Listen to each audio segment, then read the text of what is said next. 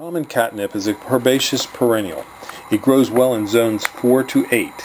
Its height of this particular plant is 2 to 2.5 foot high by a spread of 2.5 to 3 foot. Its bloom time is April to September. It has a lavender blue flower. It grows in full to partial shade. It's loved by bees and hated by deer. It's a great choice for showy flowers. Give us a call at 215 651 8329. Thank you.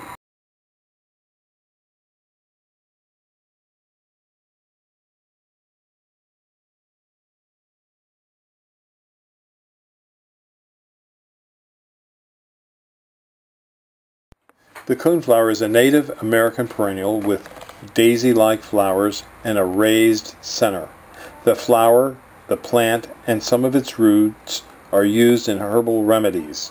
Widely renowned as a medicinal plant, coneflowers are long flowering perennials for borders, wildflower meadows, and prairie gardens. Blooming midsummer to fall, the plants are relatively drought tolerant and rarely bothered by pests. Bumblebees and bees do like to visit this flower as well as butterflies, and the seeds in the dried flower heads attract a multitude of songbirds. It's an easy to grow and easy to maintain plant. It's good for cut flowers, butterfly gardens. It's deer resistant and it tolerates dry soils. You plant these plants one to three feet apart, and it can take some light shade or full sun in well drained soil. If you need any, give us a call at Highland Hill Farm at 215 651 8329.